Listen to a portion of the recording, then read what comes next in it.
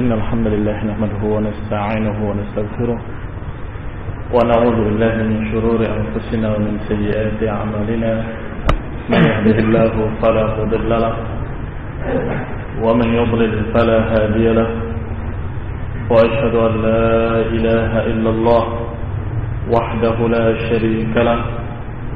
وأشهد أن محمدا عبده ورسوله صلى الله عليه وعلى آله وأصحابه والتابعين وتابع التابعين ومن تبعهم بإحسان إلى يوم الدين.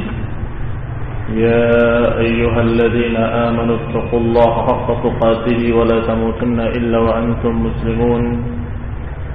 يا أيها الناس اتقوا ربكم الذي خلقكم من نفس واحدة وخلق منها زوجها وبث منهما رجالا كثيرا ونساء واتقوا الله الذي تساءلون به والأرحام إن الله كان عليكم رقيبا يا أيها الذين آمنوا اتقوا الله وقولوا قولا سديدا يصلح لكم أعمالكم ويغفر لكم ذنوبكم ومن يطع الله ورسوله فقد فاز فوزا عظيما أما بعد فإن خير الحديث كتاب الله وخير الهدي هدي محمد صلى الله عليه وعلى آله وسلم وشر الأمور محدثاتها فإن كل محدثة بدعة وكل بدعة ضلالة وكل ضلالة في النار. إخواني في الدين عزكم الله. Kaum muslimin yang Imam Abu Uthman As-Sabuni rahimahullah dalam kitabnya Aqidatus Salaf wa Ashabul Hadis menyatakan poin berikutnya dari keyakinan-keyakinan Ahlu Sunnah wal Jamaah dan prinsip-prinsip mereka. Faqala rahimahullahu taala wa yashhaduna wa ya'taqiduna أن أفضل أصحاب رسول الله صلى الله عليه وعلى آله وسلم أبو بكر ثم عمر ثم عثمان ثم علي رضي الله عنهم أجمعين وأنهم الخلفاء الراشدون الذين ذكر رسول الله صلى الله عليه وعلى آله وسلم خلافتهم بقوله فيما راه سعيد بن جمهان عن سفينة الخلافة بعدي ثلاثون سنة وبعد انقضاء أيامهم عاد الأمر إلى الملك العضود على ما أخبر عنه الرسول صلى الله عليه وعلى آله وسلم. Disebutkan oleh Imam Sabuni rahimahullah bahwa ashabul hadis mempersaksikan dan meyakini bahwasanya manusia terbaik dari sahabat-sahabat Rasulullah sallallahu alaihi wa ala alihi wasallam adalah Abu Bakar As-Siddiq radhiyallahu taala anhu. Thumma Umar dan kemudian Umar. Thumma Uthman dan kemudian Uthman. Thumma Ali, kemudian Ali radhiyallahu anhu majma'in. Ini keyakinan seluruh ahlu sunnah bahwa mereka sepakat manusia terbaik setelah Rasulullah SAW adalah Abu Bakar, kemudian Umar, kemudian Uthman, kemudian Ali radhiyallahu anhu. Kalau dikatakan bahwa ini keyakinan ashabul hadis, ahlu sunnah wal jamaah, maka barang siapa yang berpendapat selain ini berarti fihi syai' ada sesuatu padanya. Ada sesuatu di hatinya atau ada sesuatu dalam akidahnya. Seperti yang mencerca mereka dari kalangan Syiah Rafidhah. Atau yang mencerca Utsman bin Affan dari kalangan Khawarij. Atau mereka-mereka yang mencerca secara umum para sahabat dengan ucapan-ucapan yang jelek. Bahwa mereka orang-orang yang kuno. Dan mereka adalah orang-orang yang bodoh. Sedangkan kita lebih alim dari kalangan Mu'tazilah dan Aqlaniyun. Fillah azakumullah. Mereka sepakat dengan urutan keutamaan seperti ini karena memang telah masyhur sejak zaman Rasulullah SAW masih hidup. Sebagaimana diriwayatkan dalam riwayat Bukhari bahwa Ibn Umar, Abdullah bin Umar bin Khattab radhiyallahu anhuma menyatakan kunna naqulu wa Rasulullah hayy afdalu ummatin nabiy ba'dahu Abu Bakr thumma Umar thumma Utsman kami ucapkan dan Rasulullah masih hidup kalimat Rasulullah SAW masih hidup merupakan syahid merupakan bukti kalau pendapat ini disaksikan oleh Rasulullah SAW dan disetujui oleh beliau makanya merupakan hadis marfu kepada Nabi ya. yang dikatakan dengan hadis takriri ya. Kunna naqulu wa Rasulullah hayy. Kami mengucapkan dan Rasulullah masih hidup.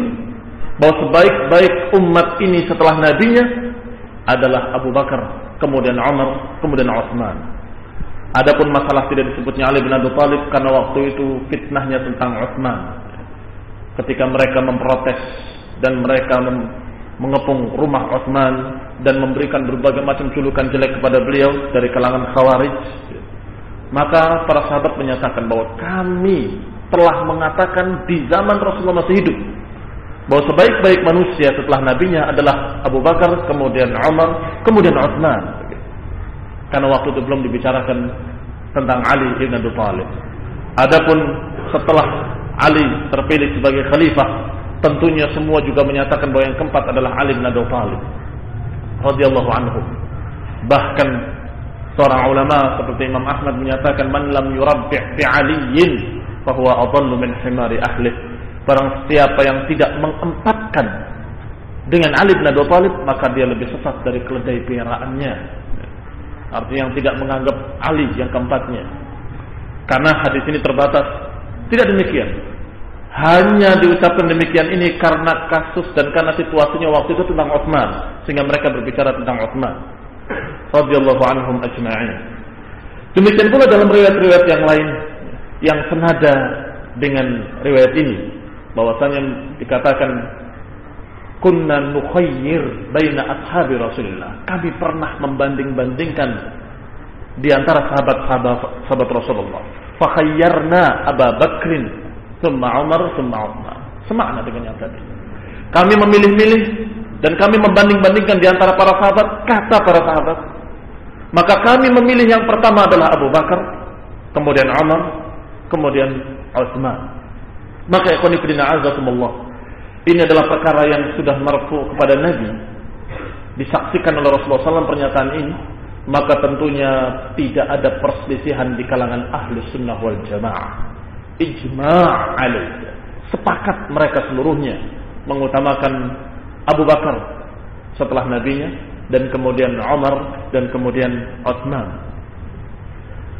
Demikian pula Ali ibn Abi Thalib sampai menghukum orang-orang yang menyatakan dirinya lebih utama daripada Abu Bakar wa Umar dan dijuluki dengan pendusta oleh Ali bin Abi Thalib dan dihukum dengan hukuman seorang pendusta sebagaimana dinukil oleh Syekhul Islam Ibn Taimiyah dalam majmu' fatwanya dan beliau menyebutkan riwayat-riwayat yang banyak kata beliau di antaranya adalah ucapan Ali bin Abi Thalib di mimbar Kufah ma utiya bi ahadin yufaddiluni ala Abi Bakr wa Umar illa jalladtuhu hadd al-muftari Kata Ali bin Abi Thalib di mimbar Kufah. Kufah ini memang mambaul fitnah, tempatnya fitnah waktu itu. Tempatnya Syiah muncul di situ, tempatnya Khawarij muncul di sana, tempatnya Qadariyah menolak takdir juga di sana. Irak. Ahlun nifaq wa syiqaq. Negeri kemunafikan dan negeri pertikaian. Negeri keributan dari dulu, dari sejak zaman para sahabat masih hidup.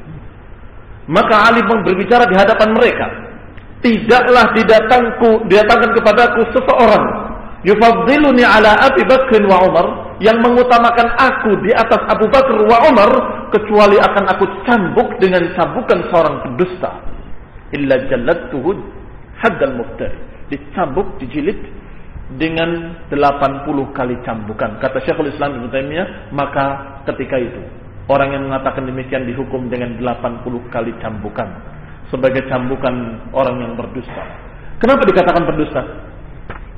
Mungkin sebagian orang ada yang bertanya, bukankah itu hanya sekedar pendapat? Pendapat saya, Ali lebih utama. Pendapat kamu, Umar lebih utama. Ya silahkan begitu. Tidak. Kalau masih di kalangan manusia yang menyatakannya, ini pendapat-pendapat dan pendapat, ya silahkan. Tetapi kalau sudah dinyatakan secara ijma oleh para sahabat. Dan setelah dibuktikan oleh para sahabat dengan bayat kepada Abu Bakar dan setelah jelas riwayatnya secara hadis takriri dipersaksikan oleh Rasulullah SAW ucapan mereka. Maka jelas ini bukan lagi pendapat-pendapat yang silahkan manusia boleh berpendapat. Bukan. Tapi ini adalah syai'un yuttaba. Sesuatu yang harus diikuti. Sunnatun tuttaba. Sunnah yang harus diikuti. Keyakinan yang harus diyakini oleh semua ahlu sunnah. Bahwa manusia terbaik setelah nabinya adalah Abu Bakar Siddiq radhiyallahu anhu.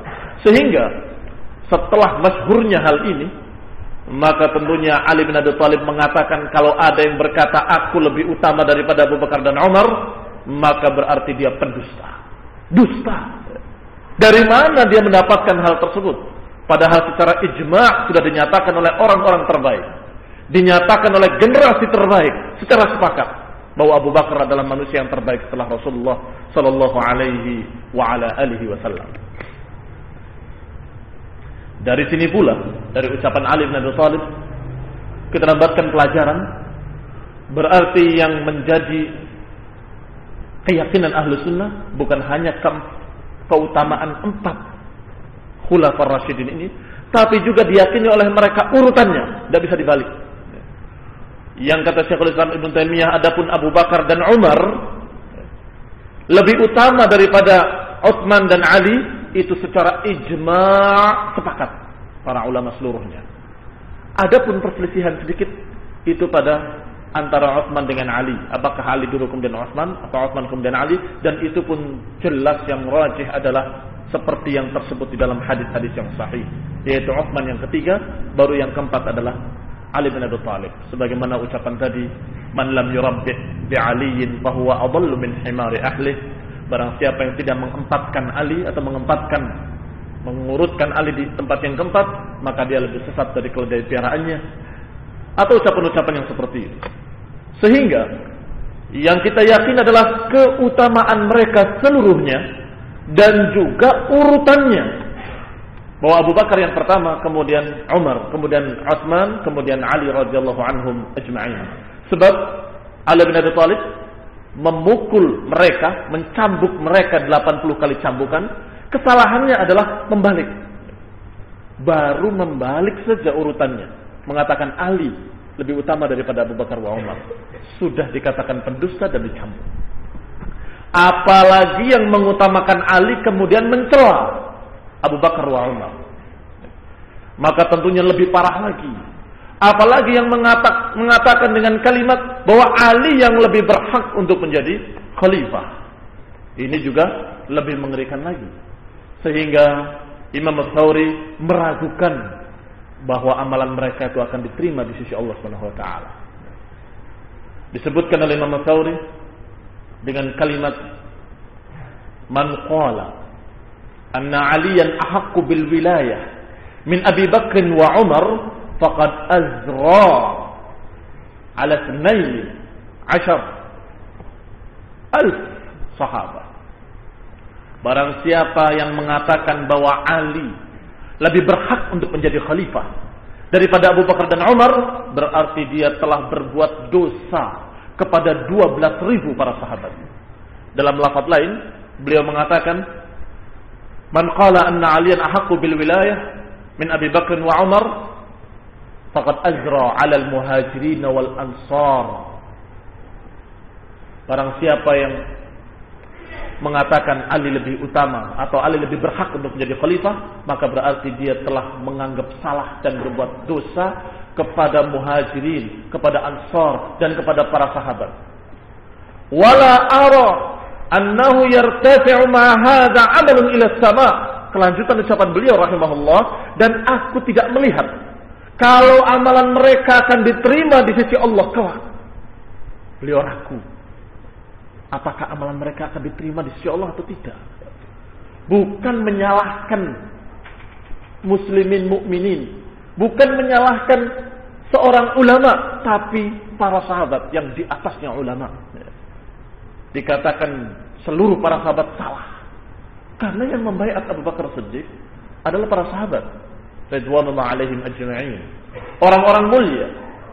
Khairul qurun. Sebaik-baik generasi atau khairun nas. Sebaik-baik manusia. Yang diucapkan dalam riwayat-riwayat yang sahih bahwa khairun nasi qarni thumma alladziina yalunahum thumma alladziina yalunahum. Sebaik-baik manusia adalah generasiku, kemudian yang berikutnya, kemudian yang berikutnya. Generasi yang terbaik ini yang dikatakan oleh Nabi sebagai khairun nas telah memilih Abu Bakar. Berarti Abu Bakar Siddiq adalah pilihan orang-orang terbaik. Tiba-tiba datang orang kemarin, orang belakangan, tiba-tiba muncul dan berkata, yang tidak tahu masalah, tidak hidup di zaman Nabi, tidak hidup di zaman sahabat, tiba-tiba muncul dan berkata, sesungguhnya yang lebih pantas jadi khalifah adalah Ali bin Abi bukan Abu Bakar, bukan Umar. Ini kelancangan mereka. Wa ma ara annahu yartafi'u maha hadha amalun ila sama. Saya tidak nyangka kalau amalan dia akan diterima di sisi Allah. Saya ragu apakah amalan orang itu akan diterima di sisi Allah sebagai amalan yang soleh. Apakah amalan-amalan dia akan dapat pahala atau akan gugur dengan perbuatannya itu. Demikianlah ikhwan fillah azakumullah. Karena mereka-mereka ini menyelisihi generasi pertamanya menyelisihi salafnya. Ahlu sunnah wal jamaah tetap di atas garis yang dijalani oleh para sahabat. Tetap di atas garis yang dijalani oleh pengikut para sahabat dari tabi'in. Dan ahlu sunnah wal jamaah tetap mengikuti ashabul hadis para ulama yang tetap memegang hadis dan sunnah. Yaitu meyakini dan mempersaksikan bahwa manusia yang paling utama setelah Rasulullah Shallallahu Alaihi Wasallam adalah Abu Bakar, kemudian Umar, kemudian Utsman, kemudian Ali. Dan yang kedua, mereka meyakini bahwa empat sahabat ini adalah yang disebut dengan Al-Khulafaur Rasyidun. Khalifah-khalifah yang lurus. Khalifah-khalifah yang mendapat hidayah. Khalifah-khalifah yang dikatakan oleh Rasulullah SAW, "Alaikum bisunnati wa sunnatil khulafa rasyidin al-mahdiyyin." Atas kalian untuk berpegang dengan sunnahku dan sunnahnya para khalifah-khalifah yang lurus setelahku. Mereka Abu Bakar wa Umar wa Uthman wa Ali radhiyallahu anhum ajma'in. Humul khulafa rasyidin. Mereka lah al-khulafa rasyidun الذين ذكر رسول الله صلى الله عليه وعلى آله وسلم خلافتهم بقوله yang disebutkan oleh Rasulullah SAW tentang khilafah mereka dengan ucapannya yang diriwayatkan oleh Sa'id ibn Jamhan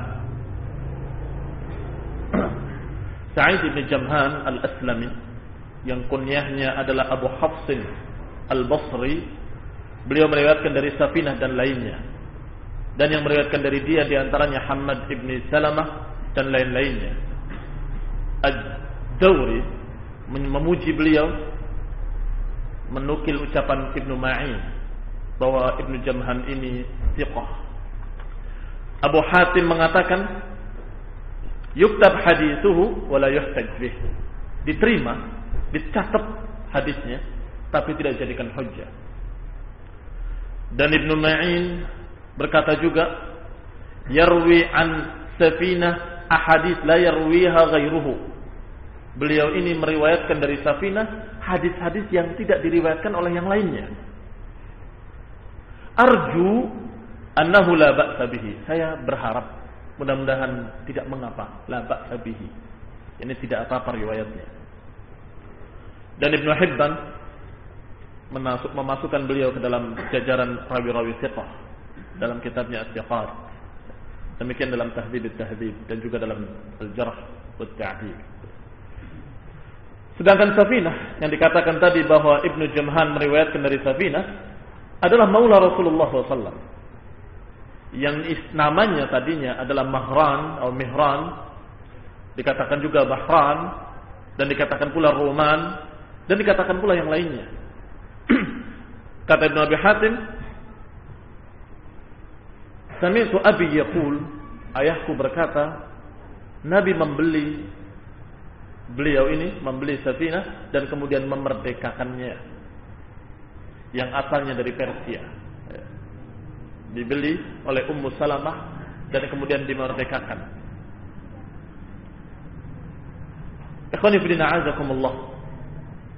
Disebutkan pula riwayatnya bahwa riwayat ini dikeluarkan oleh Tirmidzi dalam sunannya dan Abu Dawud dalam sunannya dan Imam Ahmad dalam Musnad dan lain-lain. Dan Tirmidzi menyebut hadis ini dengan hadisun hasan. Bahwasanya Rasulullah SAW berkata dalam hadis ini, Al-khilafatu ba'di 30 sanah. Khalifah setelahku adalah 30 tahun. Ba'da inqida'i ayyamihim 'ada al-amru ila al-mulk al-'adud. Dan setelah berakhirnya hari-hari mereka maka kembali urusan ini kepada al-mulk al-abud ala ma akhbar anhu Rasul sallallahu alaihi wa ala alihi wasallam perbedaan pendapat para ulama dalam hadis ini terjadi. Tetapi di antara dua kelompok para ulama yang berbeda pendapat ini semuanya tidak ada yang menjadikan hadis ini sebagai celaan untuk Muawiyah yang mensayangkan hadis ini dan memegang hadis ini, mereka tetap mengatakan bahwa Muawiyah adalah khairul muluk, sebaik-baik penguasa atau sebaik-baik raja. Kalaupun disebut mulk, dikatakan khairul khairul muluki dunia, sebaik-baik raja dan sebaik-baik penguasa di muka bumi. Ini demikian. Sebagian yang lain berpendapat bahwa setelah Al Hasan menyerahkan kepada Muawiyah dan berbayat kepada Muawiyah maka sejak itulah baru Muawiyah disebut sebagai khalifah. Wallahu taala a'lam.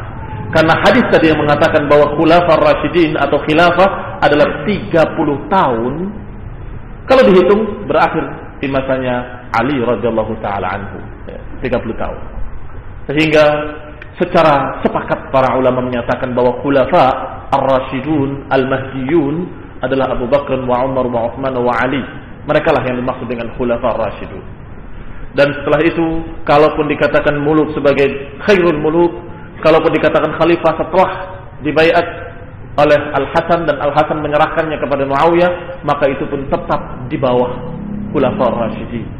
Tetap di bawahnya Abu Bakar wa Umar wa Uthman wa Ali radhiyallahu anhum.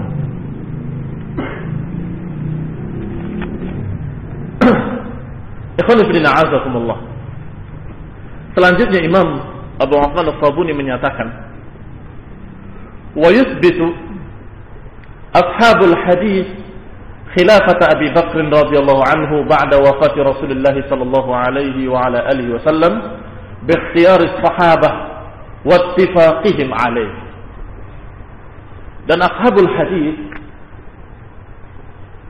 ahlu sunnah wal jamaah menetapkan khilafah Abi Bakr radhiyallahu anhu. Menetapkan sebagai khilafah yang sah. Ba'da wafat Rasulullah sallallahu alaihi wa ala alihi wasallam.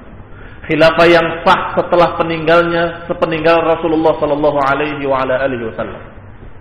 Ini ashabul hadis maka mereka-mereka yang menganggap bahwa khilafah Abu Bakar tidak sah mereka bukan pengikut ashabul hadis mereka bukan ahlu sunnah, mereka bukan pengikut para sahabat, dan mereka bukan orang-orang yang berjalan di atas jalan yang digariskan oleh Rasulullah SAW. Karena Rasulullah SAW memerintahkan dengan ucapan yang jelas ataupun anjuran, yaitu untuk mengikuti Abu Bakar wa Umar wa Uthman wa Ali. Apakah dengan kalimat alaikum bisunnati wa sunnatil khulafa rasyidin? Atau dengan kalimat iqtadu billadaini min ba'di Abi Bakr wa Umar. Ikutilah orang-orang setelahku Abu Bakar dan Umar. Atau dengan ucapan-ucapan yang lain yang lebih jelas tentang Abu Bakar khusus dan tentang khalifah-khalifah selanjutnya dari empat khalifah tersebut. Maka Ashabul hadis menetapkan bahwa khilafah Abu Bakar Siddiq sah. Mereka kaum Syiah yang mengaku-ngaku bahwa mereka mencintai ahlul bait dan mereka berdusta wa imallah. Demi Allah mereka berdusta. Mereka menganggap bahwa khilafah Abu Bakar tidak sah karena keluarga Nabi tidak ikut.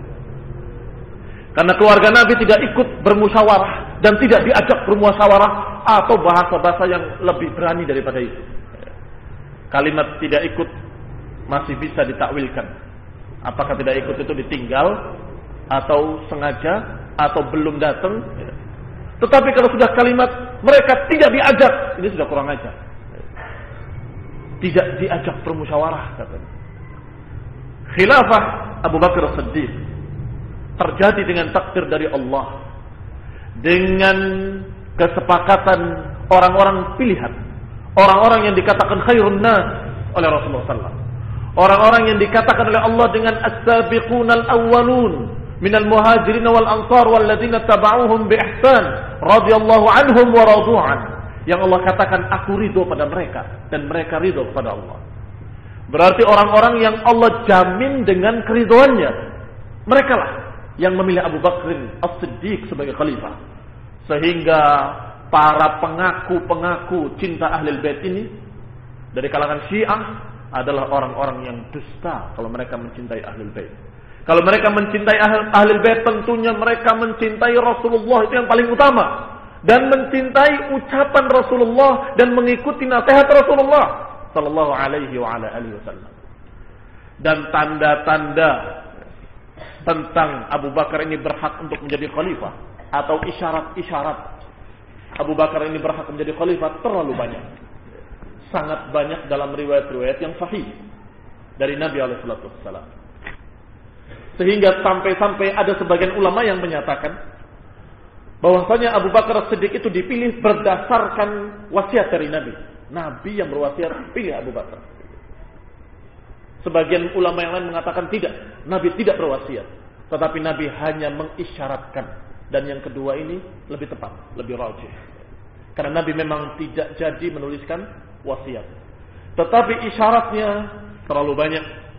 Di antaranya apa yang diriwayatkan dalam riwayat Bukhari dari Jubair bin Mut'im radhiyallahu anhu bahwasanya datang seseorang wanita kepada Nabi alaihi salatu wassalam. Kemudian bertanya permasalahan sampai kemudian Rasulullah mengatakan fa amaraha an ilaih. Rasulullah memerintahkan untuk kembali lagi nanti. Maka wanita itu bertanya, "Ara'aita in ji'tu falam ajidka?" Bagaimana pendapatmu kalau aku datang dalam keadaan gak ada engkau? Di dalam riwayat disebutkan ka'annaha turidul maut. Sepertinya wanita itu menginginkan kematian atau bukan menginginkan, memaksudkan kematian. Ini kalau aku datang, engkau sudah tiada. Bagaimana? Rasulullah menjawab, "Illam tajidini fa'ti Abu Bakr." Kalau engkau tidak mendapati aku, datangnya Abu Bakar. Ini isyarat yang jelas. Kalau wakil yang menggantikan Rasulullah SAW adalah Abu Bakar. Kalau tidak mendapati aku, datangi Abu Bakar. Ini dalam riwayat Bukhari, dalam sahihnya. Kemudian juga disebutkan dalam hadis lain dari Hudzaifah bin Yaman, Rasulullah SAW menyatakan, "Iqtadu billadzina min ba'di atau billadaini min ba'di Abi Bakr wa Umar." Ikutilah orang-orang yang setelahku. Setelahku itu artinya sepeninggalku. Iqtadu billadina min ba'di. Ambillah sebagai teladan orang-orang setelahku. Abu Bakrin wa Umar disebutkan dengan nasan sarihan. Dengan nas yang jelas Abu Bakar dan Umar. Ini juga dalam riwayat yang sahih. Dan kemudian juga diriwayatkan dalam dua kitab sahih. Kalau tadi dalam Sunan Rawahu Sunan dan disebutkan oleh Syekh Al-Albani juga dalam silsilah hadis sahih nomor 1233 hadis iqtadu bil ladzina min ba'di Abu Bakr wa Umar dan tentunya disahihkan oleh Syekh Al-Albani dalam silsilah Dan kemudian